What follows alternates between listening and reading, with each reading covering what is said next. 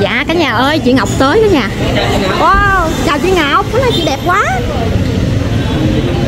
Nha. Rồi bữa nay ngày lễ chị Nguyệt Tiếng Ngọc cũng đến đó mọi người. Hôm nay chị rất là xinh. Wow. Xe của chị Tiếng Ngọc nè cả nhà. Hả? Em không có nhớ mà em nhớ là chị đi xe màu đỏ. Ờ, hôm nay hôm nay ngày lễ mà chị cũng làm hả? em. Bữa nay một rồi. Em mà thấy mọi người nghĩ là ba ngày luôn đó. Rồi chị Thiên Ngọc đến bây giờ là trưa rồi cả nhà 12 giờ rồi cả nhà Dạ bữa nay à, chị Tiến Ngọc tới bàn công việc nha mọi người. Hôm nay ở shop à, Hồng Loan thì nghỉ nha cô chú anh chị. Nghỉ 3 ngày nha. Lễ nghỉ 3 ngày Bom bom cũng nghỉ 3 ngày luôn. Và những đơn hàng thì à, Hồng Loan đang cố gắng Cố gắng trích tin nhắn và gửi đóng gói cho cô chú anh chị Và qua lễ thì sẽ gửi đi nha cả nhà. Cô chú anh chị mình đặt hàng thì mình à, Thông cảm qua lễ nha cả nhà ơi. Qua lễ mới giao mới mới gửi đi được nha. Nghĩa là bùm bùm với anh Phương mọi người. Hôm nay thì hủ tiếu bùm bùm ngày lễ á. Rất là đông cô chú anh chị mình ờ, đến ủng hộ bùm bùm luôn. Gần 10 giờ là gần hết nước lèo cả nhà. Bùm bùm thì mỗi ngày à, chỉ một nồi nước lèo duy nhất. Hết sớm thì nghỉ sớm. Đó, Nên là cô chú anh chị mình có dùng bữa sáng thưởng thức ờ, hủ tiếu thì cả nhà lên tranh thủ nha. Nhà lên tranh thủ. Lúc kỳ mọi người. Tranh thủ mình buổi sáng sớm thôi buổi chiều bùm bùm không có bán nha mọi người đây chồng chở cái thùng này đi nè. Hôm nay à, chị Chiếc Ngọc đến đi bàn việc với Hồng Loan mọi người. Chị hôm nay rất là xinh đẹp, mặc bộ đồ vest xanh. Nhìn rất là thần thái đúng không mọi người? Cô nước thì bây giờ cổ đang đang dọn.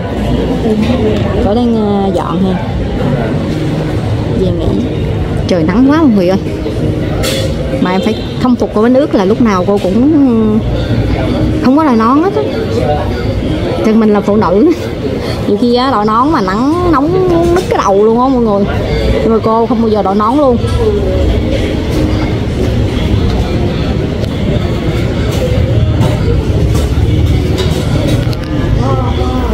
Bông này rất là dễ thương. Bộ bông dễ thương lắm mọi người phải nói là mọi người trong bên gia đình, ai cũng rất là dễ thương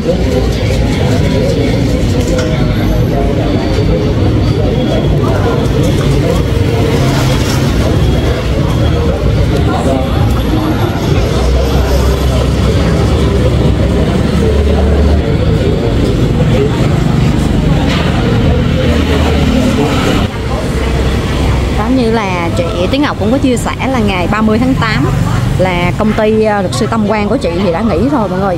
Nhưng mà luật sư Ngọc không nghỉ đâu. Nên các lịch làm việc đã hẹn y như cũ.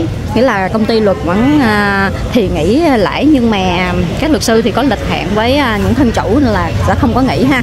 Và hôm nay là ngày một tay chị Tiến Ngọc đến bàn việc với Hồng Loan đó mọi người thấy thương quá cô chú anh chị.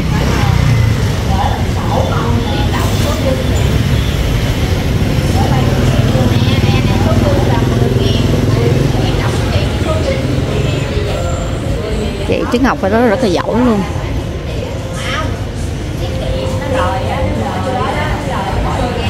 Nhà ơi, chị Ngọc xinh đẹp ra nè mọi người? Đấy.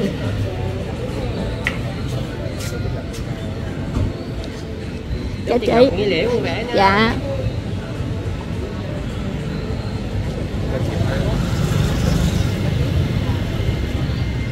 Chị Ngọc dễ thương quá cả nhà.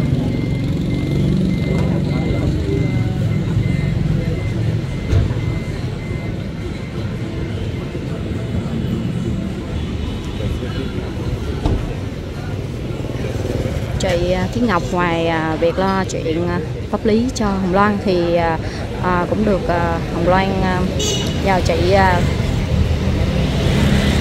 xử lý mà những cái kênh YouTube mà hãm hại vu khống cho Hồng Loan á mọi người. Như là nó tạo cái trang TikTok giả đó để mà nó hạ bệ uy tín của Hồng Loan, để ảnh hưởng tới việc kinh doanh buôn bán của Hồng Loan á. Thì Hồng Loan cũng nhờ chị luật sư Tiết Ngọc giải quyết luôn á mọi người. Và chắc là một ngày không xa thì cô chú anh chị sẽ nhận tin vui ha. Những cái kênh nào mà à, dẫn dắt mình né né tránh như là đã, cái thằng khám tử cung á mọi người. Đó. Cả nhà thấy không? Nó lên nó dẫn dắt kinh khủng không? Và những khán giả trên kênh của nó cũng tin lời nó cũng nghe lời nó dẫn dắt. Đó. Hãm hại à, mỹ phẩm hồng loan nhằm hạ bệ để hồng loan không có buôn bán được đó cả nhà thì có một cái kênh top top của nó đã bị hồng loan báo cáo và cho bay nít rồi. Nó tiếp tục, nó tạo thêm một cái top top nữa. Của chú anh chị như là em đã chia sẻ bữa trước rồi đó. Là nó nói là thích bán mắt đó, mua không mua thì biến. À nếu mà thật sự liên kết mỹ phẩm hồng loan, yêu thương hồng loan, thì à, đâu có nói những cái lời đó với những khán giả yêu thương ủng hộ hồng loan, đúng không mọi người? Nói như vậy thì nghe giống như là chợ búa mọi người đâu có giống ờ, một cái người mà ủng hộ hồng loan đâu.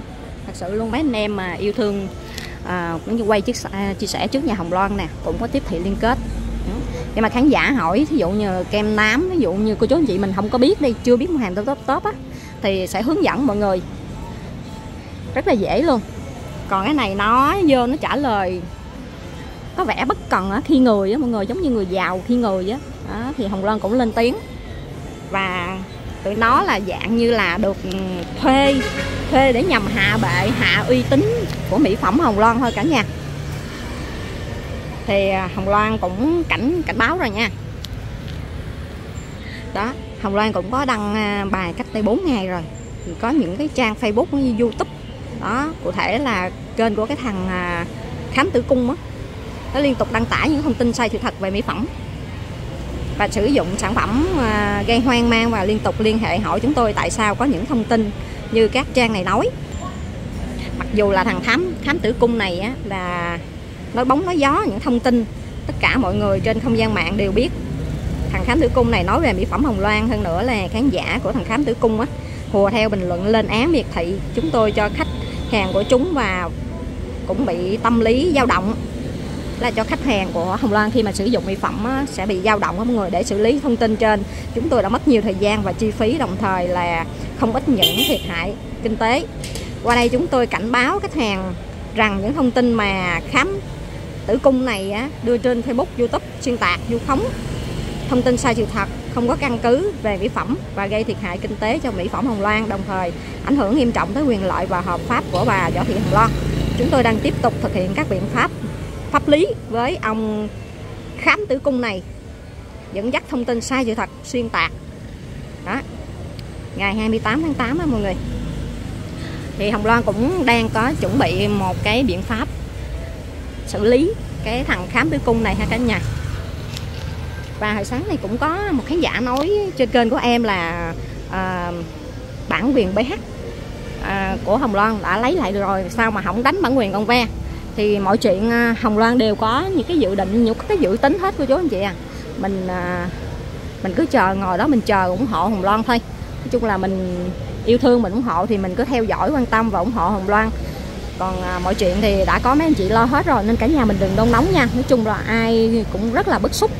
Tại vì ngày dỗ của chú Du Linh á có một chú Văn Tấn có một cái khúc nhỏ trong đó thôi thì con ve con ve nó cũng đã đánh bản quyền đánh gậy mấy anh em youtube những cái kênh lớn ở trước nhà rồi. Thì bây giờ mọi người nói là tại sao hồng loan không đánh gậy lại con ve? Thì mọi chuyện thì hồng loan cũng có dự tính hết, nên là cả nhà mình cứ yên tâm chờ đợi ha. Hôm nay luật sư tới thì bàn một số việc cũng sắp, phiên tòa thứ hai cũng sắp diễn ra rồi mọi người, chưa biết là ngày nào ha. Nên là mọi người cứ yêu thương, ủng hộ hồng loan, mình chờ đợi nha. Cô chú anh chị mình đừng nôn nóng nha. Mọi chuyện ờ, đã có mấy chị lo hết. Nên là đừng nôn nóng, đừng nôn nóng mọi người rồi, nó Xuân cảm ơn cô chú anh chị đã theo dõi thông tin à, buổi trưa nay ha và chúc cô chú anh chị mình ngày nghỉ lễ vui vẻ, bình yên, ấm áp bên gia đình nha. Đừng quên like, chia sẻ đăng ký kênh của họ Nói Xuân nha cả nhà.